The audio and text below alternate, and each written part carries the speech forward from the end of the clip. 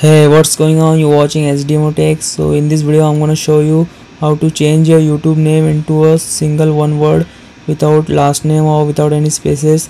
As you can see I've got single space between these two words. Alright so before we go it don't forget to subscribe to our channel. Alright so let's get started.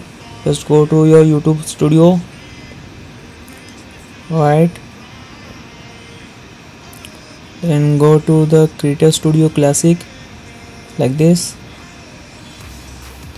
And now click over here. There's the setting. There it is. Youtube setting. Alright now click on the edit on google.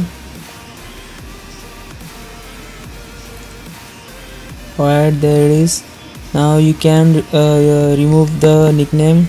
Just remove it and remove the last name. Alright now there it is. Just type your initial name whatever you want.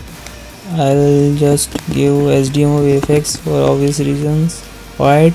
And as you can see it shows display as my name as SDMO VFX like this. There's no pop-up. Alright.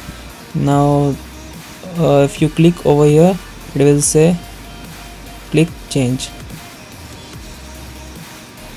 I think it will give some errors alright it didn't give if it gives some error you can simply just give a period and click ok alright.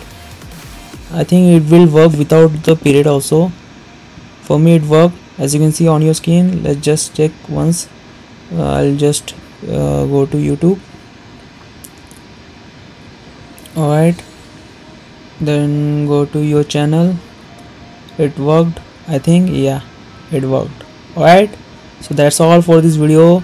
I hope you like this video and don't forget to subscribe to our channel and hit on the like button and click on the bell icon. Alright? And i'll see you on the next video